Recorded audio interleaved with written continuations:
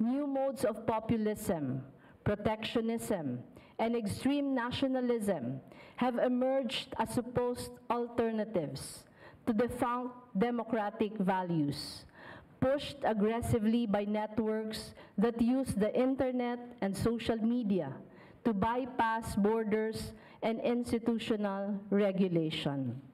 Speaking before a leadership forum at the Center for Strategic and International Studies in Washington, D.C. on Wednesday, Philippine Vice President Leni Robredo said democracies are facing fierce challenges to their legitimacy.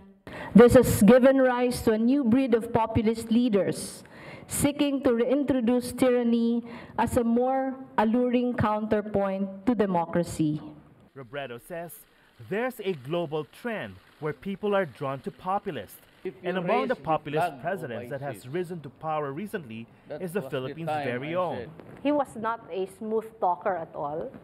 He was rough, he was raw, um, he says what he thinks, um, no holds barred always for him until now.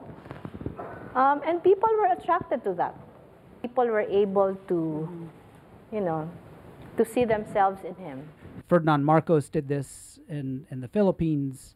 Quoting Stephen Levitsky and Daniel Ziblatt, authors of the book How Democracies Die, Robredo said, The world today is faced with less dramatic but equally destructive way to break democracies according to the authors.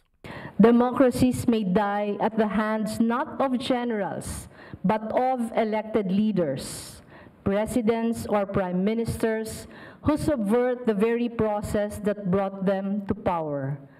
But Robredo says she remains confident that the Filipino people will not allow Asia's oldest democracy to be taken away from a people who fought hard for it. And these Filipino Americans agree. dapat tayong mga Filipino to be like her. Pag lumabas tayo, bansa ang iniisip natin, hindi yung pang sarili natin. The vice president visited her daughter, who is studying at the New York University, before she headed back to the Philippines. Don Tagala, ABS-CBN News, Washington, D.C.